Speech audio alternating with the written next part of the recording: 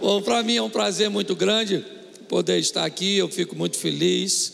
Felipe realmente é um amigo e eu me sinto honrado de estar aqui hoje e poder conversar com homens, uma espécie quase em extinção.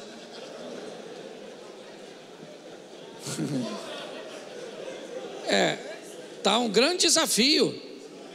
Porque, aliás, o grande desafio é convergir para o mesmo indivíduo ser homem e ser macho. Porque tem cara que é macho, mas não consegue assumir a postura de homem.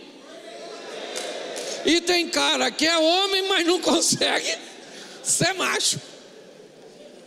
Então hoje eu vou tentar te dar uma ajuda e me ajudar também.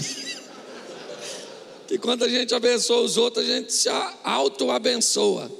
Certo? Então, para você que está em casa também, é melhor tirar a mulher do ambiente, porque senão vai ficar difícil aqui, né? Falar mal delas na frente delas. Deixa eu fazer uma brincadeira com vocês aqui. Eu vou fazer o seguinte: eu vou perguntar a vocês se aqui tem meninos, e você vai dizer não, aqui tem homens. Você pode ficar de pé, mas tem que ser forte, para você mesmo acreditar. Vamos lá para ensaio? Aqui tem meninos? Não, aqui tem homens. Vamos de novo? Aqui tem meninos? Pode aplaudir o Senhor? Glória a Deus. Se sente agora? Eu quero começar conversando com vocês um texto de Juízes, capítulo de número 6, o verso de número 1, a partir do 1, que nos diz assim: Porém, Ó, deixa eu usar esse.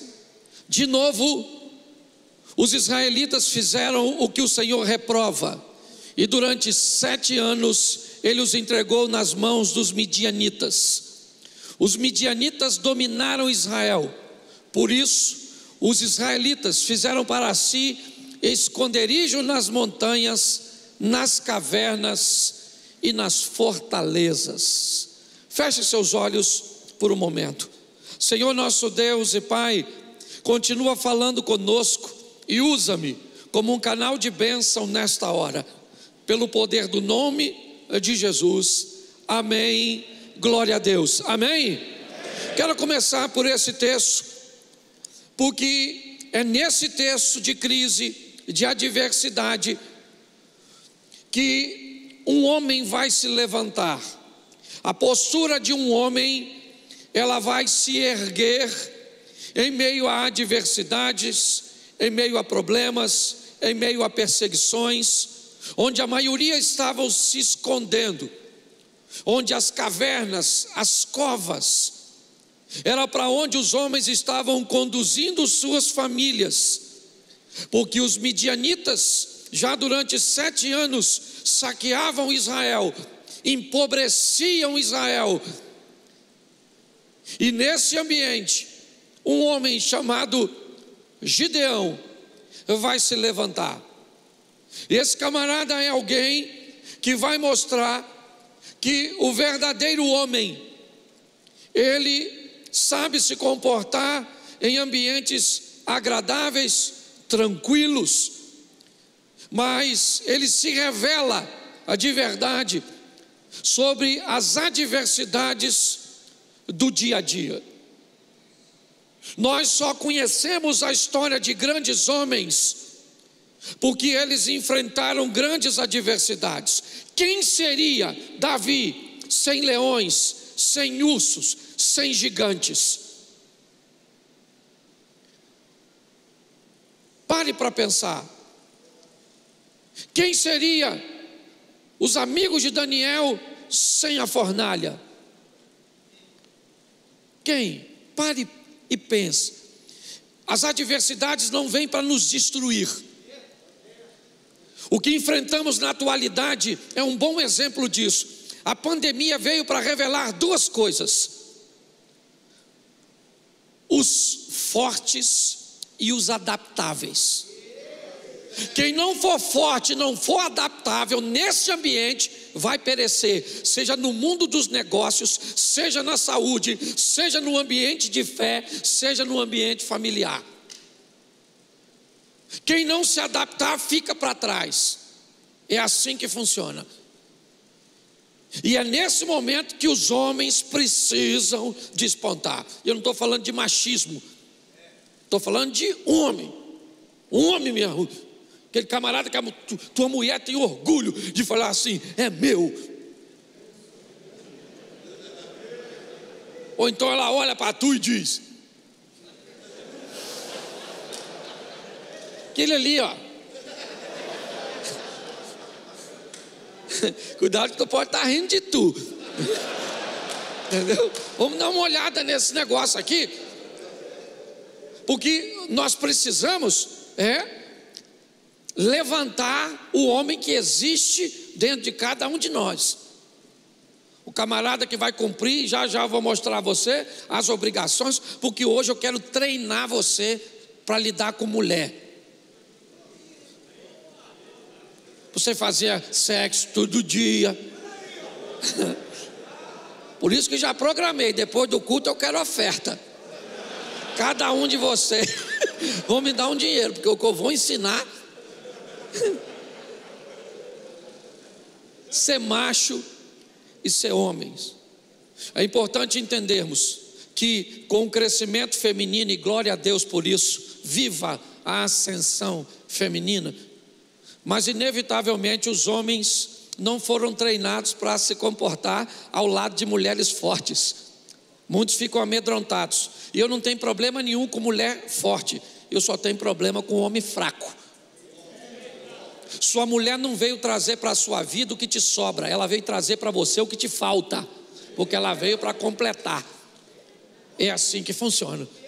Então não tenha medo de seu esposo, e nem ela precisa ter de você. O que ela precisa saber é que ela tem um homem que é macho, que sabe viver com ela, mas sabe viver sem ela, que vive com ela por opção. É assim que funciona. E ela também. A minha mulher não vive sem mim, então não, presta. Nós não vivemos é sem Deus. Entendeu? Sem Deus nós não vivemos. Então, nós precisamos saber nos comportar. E as mulheres estão estudando mais que os homens. Estão se preparando mais, ganhando mais dinheiro. Glória a Deus, você tem uma mulher que ganha mais dinheiro que tu. Certo? Que Deus te abençoe, abençoe ela também com muita saúde para trazer dinheiro para tu. Mas isso não coloca ninguém em desigualdade. Nós estamos precisando é de uma postura é, masculina bem alicerçada, segundo a Bíblia. Então, o que, que é? A crise chegou, chegou.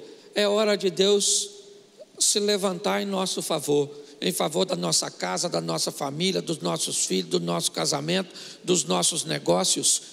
Porque eu aprendi uma coisa: se Deus estiver conosco, o deserto tem que nos fazer prosperar. Nós só precisamos de uma postura, é um homem. Se achar um homem, o negócio já está bom. Um homem para cada lar, sabe? Um homem com autoridade. Aquele camarada que os filhos, olha, que eu não sei, eu não sei se você lembra de seu pai. Lembra? Seu pai perguntava a você assim: Meu filho, você me ama? Claro que não pai nem queria saber se a gente amava. O que ele queria saber, me obedeça. O amor vem depois. Senão aqui eu te rebento e pronto. E o conselho tutelar, eu rebento ele também, rebento. Rebento todo mundo, eu rebento, se aparecer aqui eu rebento. Primeira vara da infância e juventude que eu conheci era de goiaba, desse tamanho assim, ó. Na minha época, querida, a gente ganhava Havaiana de presente levava uma surra com presente que ganhava. e reclamava para ver. Hoje, São Jesus. Mas vamos ao que interessa. 1 Tessalonicenses é o segundo texto que eu quero usar com você. E se você quer aprender a lidar com mulher, é bom dar uma olhada nele. Se você já sabe, é só ficar quietinho. 1 Tessalonicenses, capítulo 5, verso 23. Vai valer para a esposa, para os filhos, para a sogra, para a mãe, para essa turma toda. Diz assim: que o próprio Deus da paz os santifique inteiramente, que todo espírito, alma e o corpo de vocês sejam preservados irrepreensíveis na vinda de nosso Senhor Jesus. Volta lá, Jesus Cristo, volta lá. Ó, repita comigo: espírito, espírito. Alma, alma e corpo.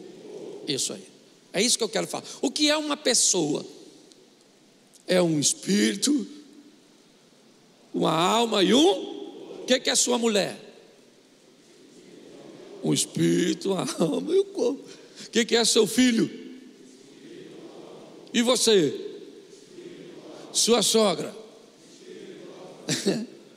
sua, sua sogra é um corpo com muitos espíritos sem alma.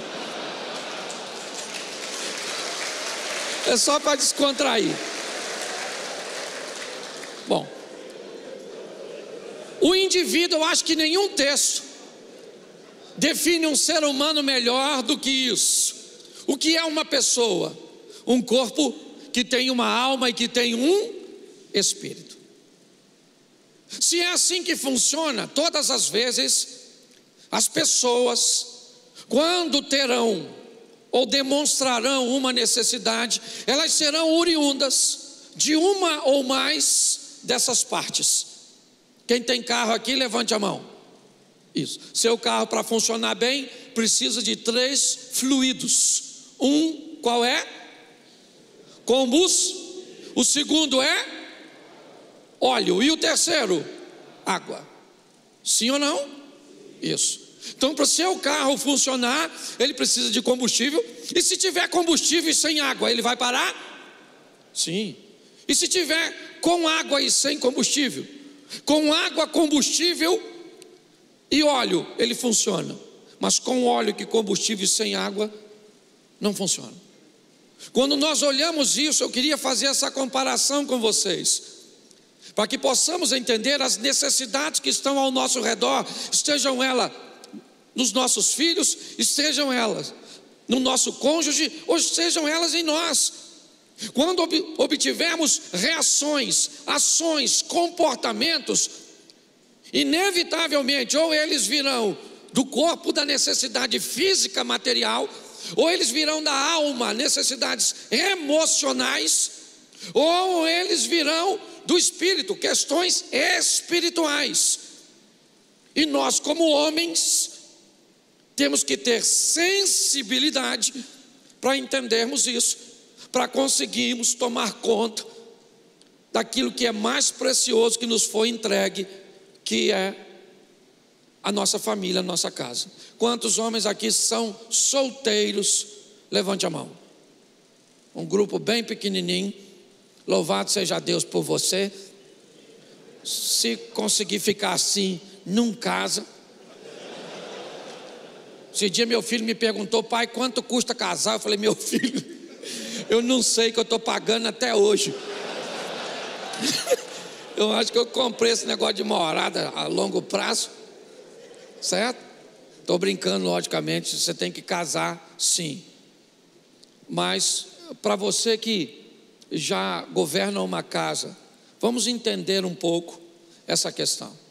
Eu quero falar hoje de três áreas que um homem precisa atuar: primeira, altar, segunda, sofá, e terceira, cama. Entendeu? O homem espiritual, o sacerdote, porque tem coisas que você resolve com suas mãos, com sua expertise, com seu network, com a sua rede de relacionamento, mas o que as suas mãos não resolvem, o joelho resolve dobrando no chão e, e clamando aos céus. Tem coisas que sabe o que vai acontecer? Você vai precisar de um diálogo. Sua mulher sentar no sofá e você vai cantar para ela: Como vai você? Eu preciso saber da sua vida e ela vai falar tudo que tu não está afim de ouvir. Mas a mulher não é sua? Hashtag chupa essa manga. Eu não é? E também a mulher vai precisar do cara de, da cama, o atleta de alcova. O cara que vai passar o cerol fininho. Isso. Então eu vou tentar te ajudar hoje a lidar com isso. Certo? Então, deixa eu te falar primeiro sobre o homem do sofá, o amigo. É importante demais entendermos que uma das coisas mais preciosas para uma fêmea, para uma mulher, é o diálogo. Só que é dificílimo conversar com mulher. Porque nós homens não conversamos olhando olho no olho. Porque isso para nós não é conveniente. Se eu tivesse aqui falando, irmão, olhando dentro dos seus olhos, fala sério. Ele já até tirou o olho de mim que ficou sem graça. Menos de 30 segundos olhando para ele, ele já desviou. Como quem diz, vai manchar minha reputação, aponta para outro. Porque homem não conversa olhando, sim ou não? Eu estou aqui falando, a grande maioria de vocês olha no máximo 3, 4 segundos para mim e desvia e depois volta e desvia. Então eu aqui estou falando, vocês estão assim, ó.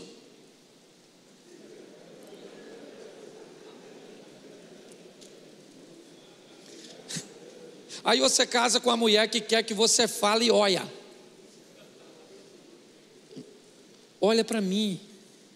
Estou falando contigo e você fala, eu estou escutando. E ela diz, eu não quero ouvido, eu quero olho. Porque a comunicação comigo ela é audiovisual. Aí você fala assim, eu posso repetir tudo o que você falou. Isso também o papagaio pode, não é meu marido.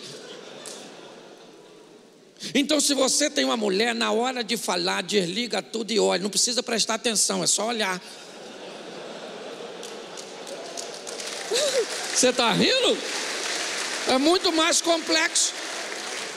Para uma mulher, um amigo, o cara do sofá é extraordinário.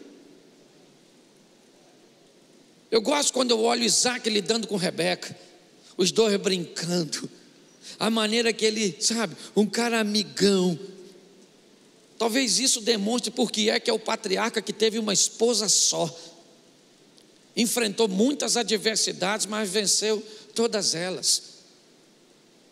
Sabe qual é o nosso erro? Não entendemos a linha de comunicação feminina. Porque mulher fala de tudo, por exemplo, sua esposa normalmente ela fala assim: amor, falar com você, o pneu do meu carro furou, tem que pintar o cabelo amanhã. Nosso filho tirou nota baixa, mamãe está vindo aqui. Amanhã nós vamos comer e o cara fica assim.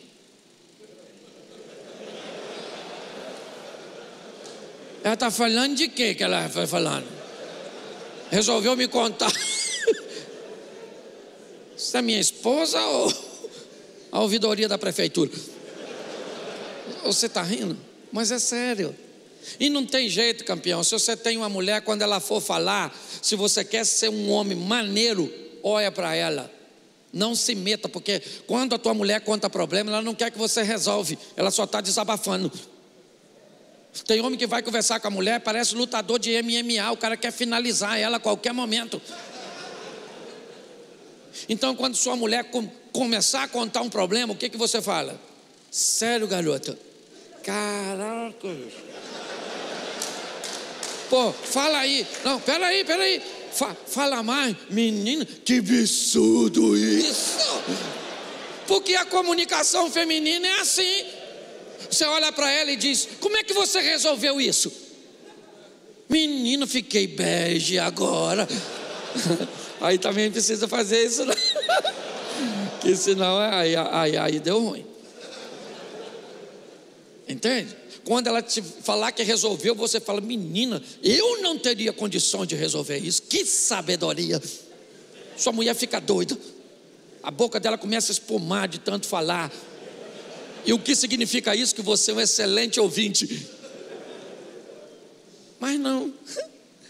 A mulher começa a falar, o cara já quer resolver. Já pensa que sabe tudo. Você tem que deixar ela contar, ela vai chorar, ela vai rir, sabe? E você fica olhando. Não tira os olhos. Certo? Porque você não pode se meter muito, senão dá ruim. E se meter pouco também dá. Então o que, é isso? Isso é falar com mulher. Entendeu?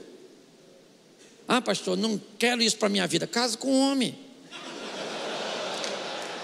Pega o macho e bota lá no canto da cama.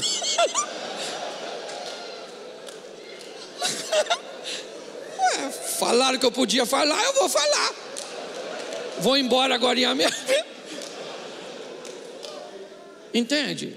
Então tem palavras, por exemplo, sua mulher falou para você assim: amor, eu tô gorda. O que que você fala para ajudar? Não. Tu tá bonita sim. Acabou com a tua vida, companheiro. Ah, quem falou que ela engordou foi a balança e as roupas. Então ela engordou. Então, pastor, quando ela disser que está gorda, o que, que eu faço? Olha só, para agradar ela. Querida, eu também estou acabado. Me vi no espelho só de cueca, falei, sai, que esse corpo não te pertence. Menino, tô horrível, minha bunda caiu, o, o negócio tá. Nossa! Ou seja, você não falou que ela estava gorda e fez ela rir de tu. Mas não, uns maridos querendo ajudar, tá não, querido. Eu amo você desse jeito. Ela fala: então toma esse corpo para tu, miserável. E morre, que eu quero largar você, sua praga insensível. Pastor, mas eu estou com boa intenção, mas não sabe lidar com as coisas. Outra coisa que você precisa entender: vocabulário. Mulher tem um, um, umas maneiras diferentes de nós homens. Você quer ver? Vem três mulheres, vem duas mulheres na rua, encontra com a terceira. Elas fazem assim, ó. Menina, oi, tudo bem, amiga? Nossa, você emagreceu, tá bonita. As duas falando da outra. Nossa, que vestido lindo. Foi um prazer te ver. Vão embora. Aí uma fala para a outra assim: Menina, engordou, viu? Cabelo branco. Aquele, aquele vestido dela parece uma toalha de mesa, meu Deus. Agora você vem com dois amigos e encontra com o outro. Olha como é que você fala. E aí, Malu? Caraca, tu tá velho, irmão barrigudo, careca, vai ver que não está fazendo mais nada. Quando o cara vai embora, o que, que você fala para o outro? Isso é gente boa toda a vida, amigão.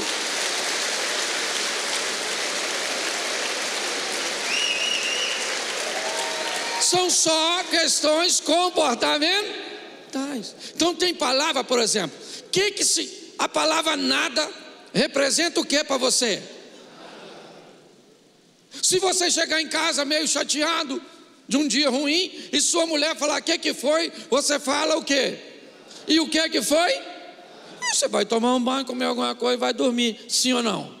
Mas se você chegar em casa, olhar que tem algo de errado, perguntar à sua mulher o que que foi e ela falar que não foi,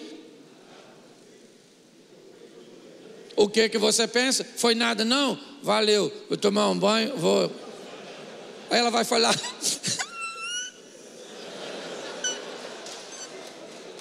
Ele não sabe nem perceber que eu estou cheio de problema. E, e miserável, por que, que falou que não era nada? Porque mulher chama tudo de nada. Quem é essa mulher? A sua. Você tem que ter habilidade. Se você não tiver, você vai se dar mal. Muitos homens cometem erros com as mulheres. Aliás, ninguém, ou a grande maioria que eu encontro, não está casado com a pessoa errada, está agindo de forma errada ao lado da pessoa certa.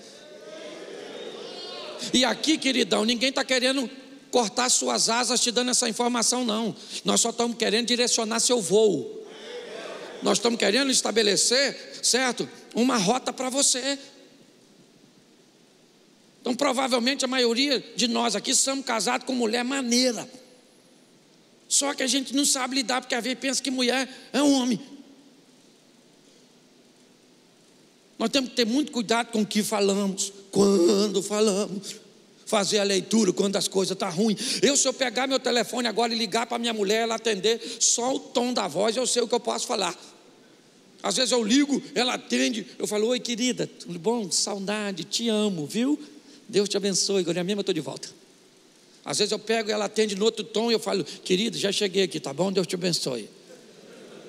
Às vezes eu ligo, ela atende no outro tom e eu falo, olha, foi engano.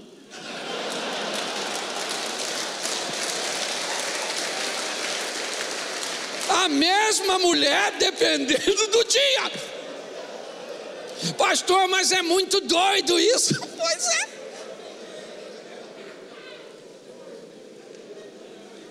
Então, uma mulher feliz precisa de um homem do sofá, o amigo, o cara que vai sentar do lado dela, parceiro.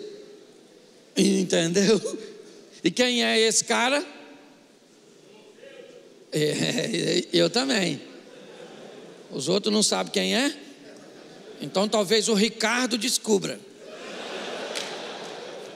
Esse cara é você, rapaz. O cara que vai olhar no olho da sua esposa que vai chorar quando ela estiver chorando. Por que, que ela está chorando? Não sei, mas está chorando, eu choro.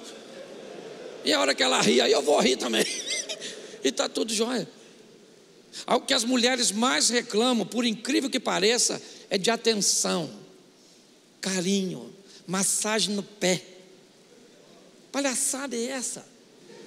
Massagem no pé, nós não sabemos nem fazer. Tem homem que pega no pé da mulher, parece estar tá trocando uma ferradura.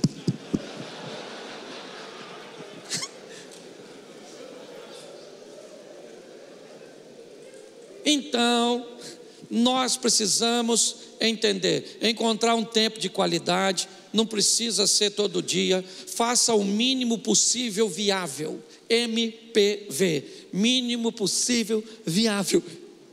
Faça de forma rotineira e você vai ver que sua mulher vai melhorar.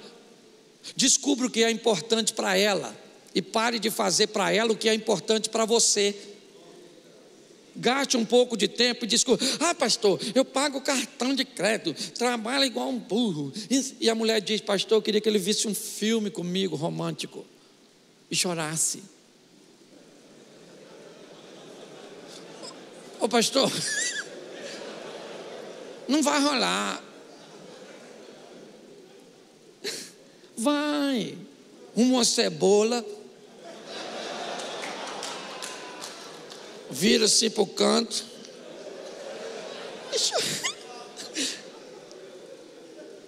Gaste um tempo para saber o que é importante para seu filho, o que é importante para sua esposa, o que é importante. Pare de é, gastar forças, recursos em lugares que não vão te trazer resultados. Eu, por exemplo, sempre me dava mal, era data de aniversário, aliás, minha esposa faz aniversário depois de amanhã, dia 19. Era problema no aniversário, problema no dia das mães, problema no Natal, problema no dia das mulheres. Eu só fazia besteira. Só dava presente caro, porém errado. Me dava uma raiva. Aí eu chamei ela, falei: Quer saber de uma coisa? Agora eu não te dou mais presente. Toda vez que eu te dou presente, você joga lá e a gente briga. Agora eu vou te dar dinheiro. Aí ficou pior ainda. Porque aí não tinha emoção. Um dia eu falei com ela, querida, presta atenção. O que, que se eu te der de presente eu não erro? Ela falou: Posso falar? Eu falei: Pode. Ouro. Me dá ouro que você não erra. Eu falei: Mas se eu te der uma peça de ouro que você não gosta? Ela disse: Eu derreto junto com a minha e faço a que eu gosto. Passei a dar ouro quando eu tenho dinheiro. Não dá para dar sempre, mas quando eu quero impressionar mesmo assim. Então chega hoje em casa e pergunta à sua mulher: Querida, o que, que eu posso fazer para melhorar assim que eu vim de um culto? Para melhorar assim a performance do macho. E ela vai falar assim: nascer de novo. Gaste um pouco de tempo, converse com seus filhos, converse com as amigas, converse com os parentes e descubra o que você pode fazer de extraordinário. Seja o cara do sofá. Posso ouvir um amém? amém. Isso. Vou me deter muito tempo num só ponto, não, mas agora eu quero falar do cara da cama. Isso. O cara que a sua mulher vai olhar e vai falar assim: Caraca, mano. Esse cara é terrível. Sim, a Bíblia está aqui. Abraão, gente. O cara tinha 100 anos. Isso é uma vergonha para gente. O cara tinha 100, 100. Ele pega uma mulher de 90, mano. O cara que faz amor com a mulher de 90 tendo 100, ele tem que ser o pai da fé, do fi, do fá.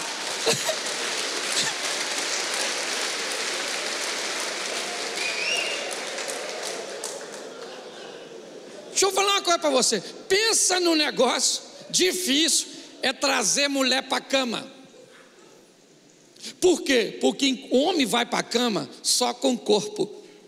Lembra? Corpo, alma, espírito. Mulher para ir para a cama, o espírito. Né? Vai depois. A alma vai primeiro.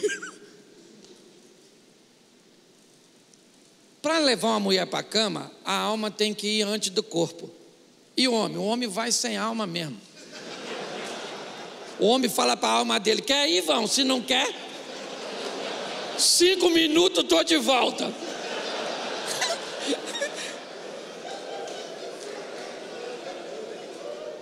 Por que, que é difícil atrair uma mulher para cama? Quem aqui, quando garoto, naquela cidadezinha mais de interior, tinha aquele terreno baldio, vazio, e vinha o circo e se instalava lá. Quem lembra disso? Naquela época o circo ainda, circo ainda podia ter animal. Tinha macaco, elefante, leão. Aí tinha um leão velho lá, lembra? Aquela jaula. Andava pela cidade assim na jaula. Para nós ir no espetáculo.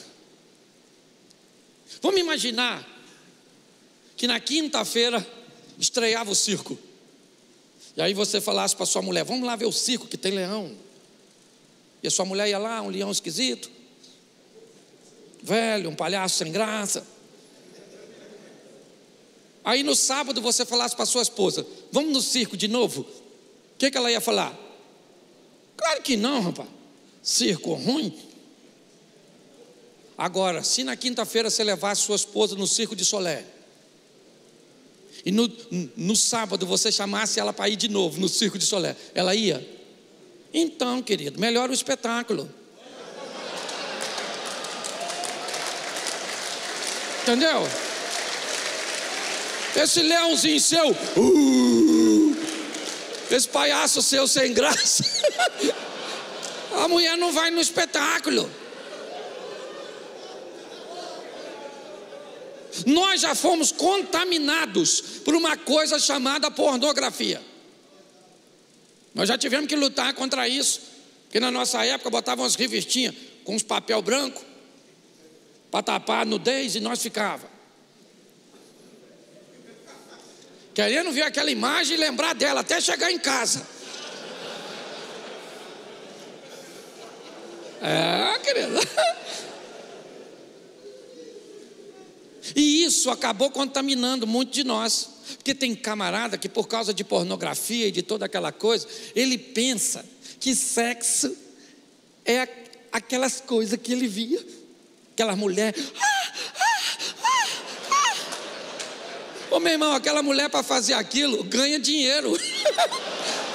Se você der dinheiro para sua mulher, ela faz também. Oh!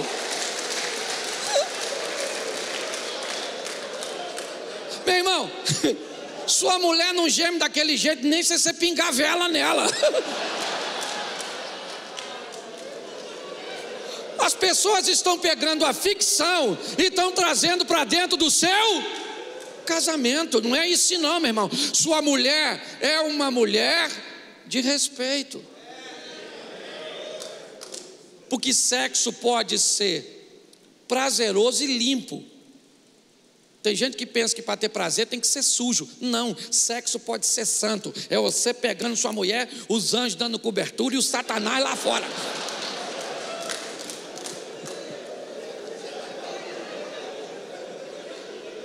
Sim. Uns caras doidos. E tem uns pior. Que obriga a mulher dele a ver pornografia. Porque acha que mulher vai estimular. Eu não gosto disso não, meu filho. E não bota para ver não, hein? Não bota para ver não.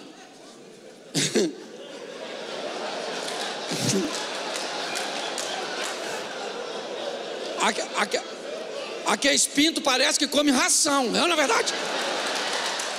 E depois, depois sua mulher não vai querer fazer nada com esse garnizezinho seu, não. Você está rindo, mas é sério. Ô meu irmão, é nossa casa, nossa família, é nossa esposa. Leve as coisas a sério. Nós podemos ter uma sexualidade sadia, pura, prazerosa e santa. O que nós precisamos fazer melhorar a performance, o desempenho. Ah, pastor, porque para um homem saudável, se a mulher deixar ele quatro, cinco dias sem amor, está arriscado ele começar a fazer e acabar logo. O cara já está tão. Tem mulher que fala: calma, cara, eu não vou fugir daqui. A mão sua, o coração, pupila de lata. Cara não sabe se é prazer ou é infarto, não é verdade? Você está rindo, mas é sério. Nós precisamos cuidar disso, sabe? Prestar um pouco mais atenção. A mulher que é o homem da cama, sim, o atleta de alcova, ela também tem um corpo, a alma, você resolveu no sofá, sendo amigo, sendo parceiro, descobrindo e atendendo necessidades, criando um ambiente educativo, uma escola para a próxima geração, porque muito mais que o meu casamento, eu estou mandando uma informação para o futuro, para a próxima geração, na formação de, de meus filhos. Nós precisamos amadurecer isso. Então, Sexualidade é algo muito sério. Se você tem problema com ejaculação precoce, filho, 2020, o mundo mudou. Entendeu? Compra um retardadorzinho. É um retardador. Assim, você passar nele, sim. Para retardar, não tem nada de errado, é o Satanás, né? Não. Você passa para retardar, ele fica meio anestesiado, falando: quem sou eu, o que, que eu estou fazendo aqui? Não, na verdade, vai dar um pouco mais de tempo. Tem nada de diabólico nisso aqui, não. E eu não estou falando de pornografia, não. Ah, pastor, eu estou com um problema de ereção. Querido, procura um médico. Vai dar uma olhada. Fazer uma reposição hormonal. Há um tempo atrás o cara me procurou e falou: Pastor, minha esposa está com demônio. Falei, o que, que foi, rapaz? Não quer fazer amor comigo, ela está me traindo. Um espírito ruim, um demônio nela, acabar o meu casamento. Chamei a mulher, falei, traz sua esposa aqui. O cara levou a esposa. Comecei a conversar com ela, ela falou, pastor, preste atenção. Eu não perdi o interesse pelo meu marido, eu perdi o interesse por sexo. Eu não me interesso por sexo. Eu falei, dona, não pode. A senhora é uma mulher casada, entendeu? Então não pode, certo? Isso aí não é para as minhocas lá no chão, é para o seu marido. A senhora tem plano de saúde? Ela falou: tem. Mandei para um médico amigo meu. Vai fazer uma consulta lá para ver o que está acontecendo. Ele me ligou depois e falou: Cláudio, os exames dela chegaram. Essa mulher está toda descompensada, os hormônios tudo bagunçado. Ela não tem realmente nenhuma condição de ter desejos sexuais. Vou fazer uma reposição. Fez uma reposição hormonal. Um tempo depois encontrei o marido dela. Ele falou comigo assim: Ô pastor, aquele a, a médico amigo seu atende homem?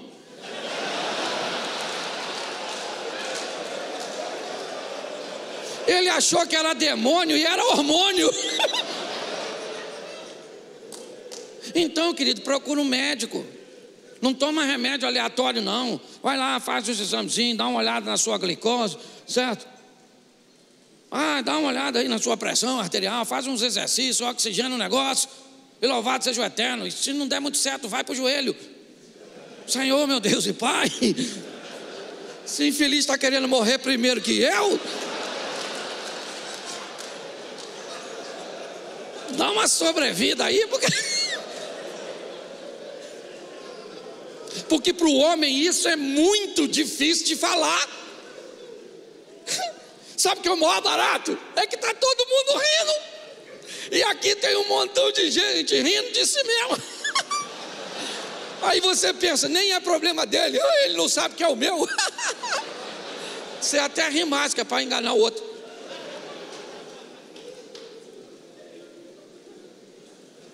Querido, peça ajuda.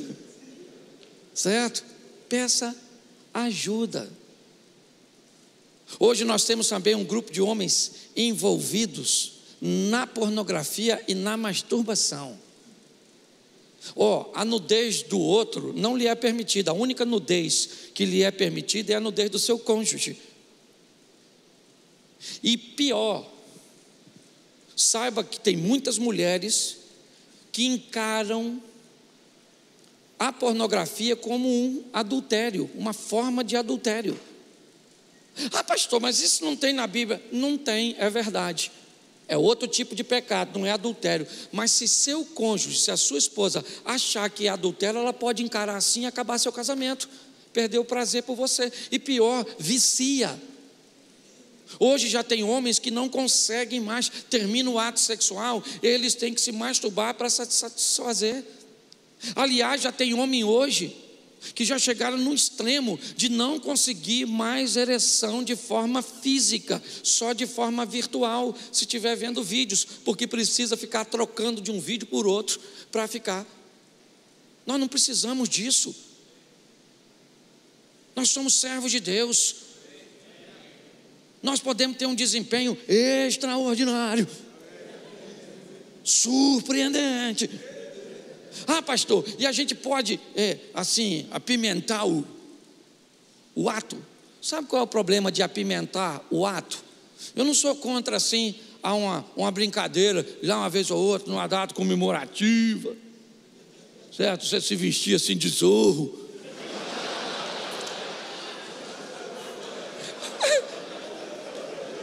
certo? Eu não sou contra, não. A questão é a motivação. Se você precisa da motivação para fazer sempre, a hora que essa motivação passar, você tem que ir para a próxima fase. E um abismo vai chamando o outro abismo. Então para com esse negócio, tu tem que ser macho, meu filho. Olhar para a dona e falar, maluco, eu vou te rasgar no meio. Quando pega, não rasga nem na beiradinha, é na é verdade. Mas pelo menos ameaçou, isso já é quase uma violência doméstica.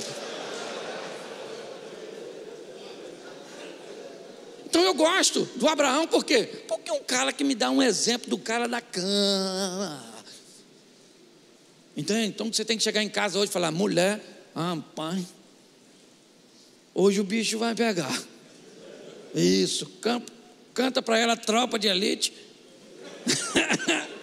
vai lá, capitão Nascimento. Isso aí. É assim que funciona. Só que eu deixei por último o homem do altar.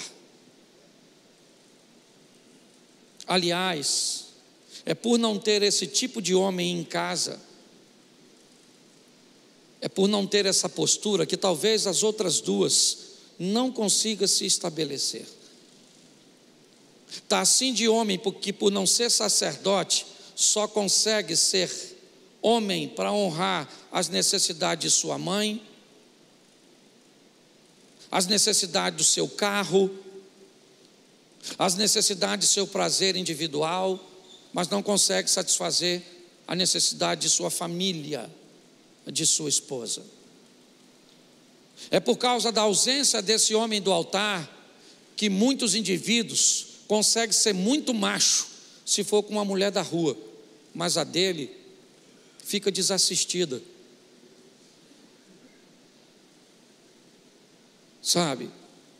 O homem do altar aqui é Jó. Um camarada extraordinário. Sabe? Para colocar Deus em primeiro lugar, para colocar seus filhos na presença de Deus, para mesmo depois de tanta tragédia, terminar o último capítulo com dez filhos, com a mesma esposa que disse que ele deveria morrer porque estava doente, que ele a chamou de louca, de não saber o que falava. Nós precisamos de sacerdotes dentro de casa. Sua mulher tem que ver você entrar no quarto do filho dela e botar a mão no travesseiro, ungir com óleo e lançar palavras proféticas para aquelas crianças para o futuro. Sua esposa tem que acordar assustada de vez em quando, às três, quatro da manhã, com você, com a mão na cabeça dela, orando, intercedendo a Deus, pedindo a Deus para agir na vida dela. Nossa casa está precisando de sacerdote, de homens com postura sacerdotal para não assistir coisas como Lúcifer Pastor, um diabinho camarada. Meu irmão, na minha época de garoto, se eu falasse a palavra Lúcifer dentro de casa, isso aqui era prótese.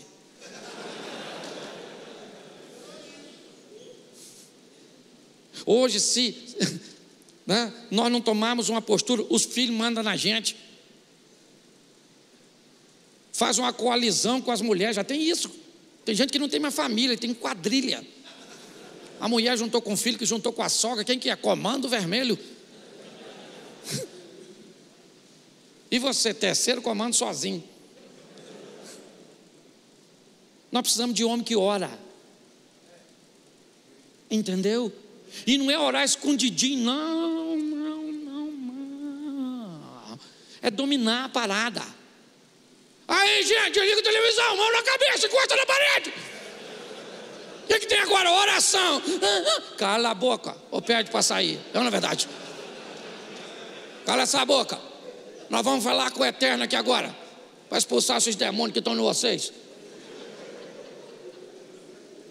Mistura entre eu e sua mãe não deu muito certo. E mandar-lhe umas rajadas de fogo dentro de casa. Senhor, visita a televisão, o smartphone, o tablet, o computador. Visita, visita, visita. Sabe o que, eles vão falar? Papai. Esquisito. Esse negócio de lagoinha está deixando o papai doido. papai agora acha que manda em tudo. É assim que a gente quer que você volte para casa. Ganhando espaço no mundo espiritual. Entendeu? Ninguém quer aqui, ah, meu marido é nervoso, meu marido é ignorante. Não. Nós queremos sua mulher falando assim: meu marido é um homem de Deus. Ah, mas aqui não entra isso, não entra aquilo. Aqui não entra nada, porque aqui o homem fica nervoso se o pecado entrar. É isso aí. Seu filho não tem que ter medo de que vai apanhar. Não, vai apanhar? Atendo esse menino? Tudo bem que a gente apanhou. Hoje não pode bater. Quando a gente era garoto, apanhava, apanhava, apanhava, apanhava, qualquer coisa apanhava. Apanhava, apanhava. Uma vez eu cheguei em casa reclamando da professora, levei uma surra. No dia seguinte, me levaram no colégio para ver a versão da professora. A professora contou, levei outra surra.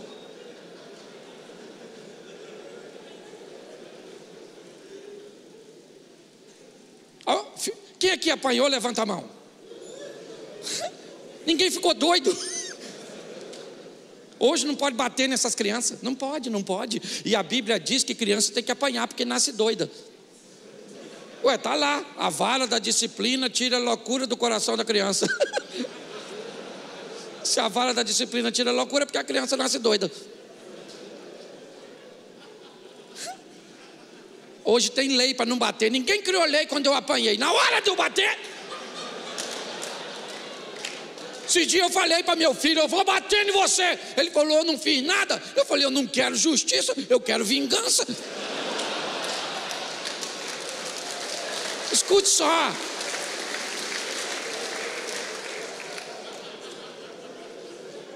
Ó, a cama você pode deixar para sábado. O sofá deixa para domingo. Mas o altar é dever de casa para hoje. Chega em casa hoje, dominando o território tranquilamente. Chega com o peitão, senão não. Não, a quadrilha junta, nem tu. e amanhã nós vamos estar fazendo seu funeral. Chega e diga, gente, olha, vindo um culto, e eu preciso orar. Aí o pessoal. Já está achando que é santinho. Foi num cultinho, já voltou emocionado. É, porque se for uma vez só, é assim que você vai ser taxado. Mas quando eles verem que não é uma vez, é um hábito que vai se tornar comum dentro daquela casa. Aí, quando você entrar daqui um tempo, ele já desliga a televisão. O que, é que foi? Desligando por quê? Papai está chegando aí, quer ver que vai orar hoje? Olha. Você está entendendo? Você sabe por que, que não respeita? Porque não tem constância, porque não tem credibilidade. Vamos botar esse negócio para frente, meu filho. Mais com força. Pastor, está cheio de gente aí que não quer ser homem, mas nós estamos afim de ser, meu filho. E acabou. Não estamos aqui falando mal de ninguém, não. Até o meu lado feminino é lésbica. Está entendendo? Meu lado feminino gosta de mulher, maluco. Louvado seja Deus. Você está rindo? Então eu queria que você saísse daqui hoje turbinado. Aqui tem menino? Não, aqui tem É isso aí, querido. Nós vamos sair para fazer a diferença. E não é confrontando ninguém, é só marcando território. Uma oraçãozinha, uma leitura bíblica. E as pessoas vão falar: quem é aquele? Quem é? Quem é? Não era o, o Gadareno que morava aqui em casa?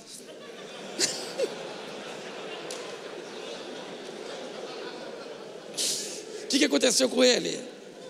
Ela teve um encontro com Jesus, não era o Bartimeu, ceguinho, ceguinho, ceguinho. É isso aí. Nós vamos sair daqui para fazer a diferença. E eu vou chegar em casa. Já é uma prática minha mas eu já vou chegar. A primeira coisa que eu vou fazer é o deverzinho de casa. Fazer uma oraçãozinha em voz alta, que é para os outros ouvir, porque propaganda é a alma do negócio. Faz nada escondido, não. Senhor, abençoa aquele menino meu, abençoa aquela mulher. Dá uma benção para minha sogra. Louvado seja Deus, vida longa, aquela senhora maravilhosa que fez a minha esposa. Tudo isso é ponto, é ponto, é ponto. Pastor, mas eu não queria fazer essa oração. Pois é. Tem que amar aqueles que te aborrecem. Eu queria que você ficasse de pé nesse momento. Eu queria que você fechasse seus olhos agora. Porque o que eu vou falar agora você precisa ser muito homem. Muito homem. Você não está aqui por acaso. Você está aqui porque Deus te trouxe aqui. Eu não sei se você pensou que você é que vai escolhê-lo. Mas ele diz: Você não me escolheu, fui eu que escolhi você. E em nome de Jesus, nessa hora, todas as cadeias são quebradas, o jugo é jogado por terra e você é livre livre para servir a um Deus que quer te fazer feliz e muito mais do que isso. Quer ter você ao lado dele na vida eterna. Então, com muito respeito, pois essa é uma igreja séria onde ninguém quer te constranger e quem age aqui é o Espírito Santo de Deus. Mas se nessa noite você quer receber Jesus pela primeira vez, ou você quer voltar para os caminhos do Senhor porque por algum motivo você acabou se afastando. Eu queria que você levantasse a sua mão onde você estiver. Em nome de Jesus. Eu precisava que acendesse as luzes um pouquinho. Não sei se eu estou quebrando o protocolo aqui, pastorzão. Acende as luzes que eu preciso ver. Isso. Tem alguém nessa noite. Eu já estou vendo uma mão levantada ali. Tem mais alguém? Tem outra aqui. Cadê? Tem aí em cima alguém? Tem mais alguém aqui? Isso. Eu queria que você viesse aqui à frente. Eu quero orar por você.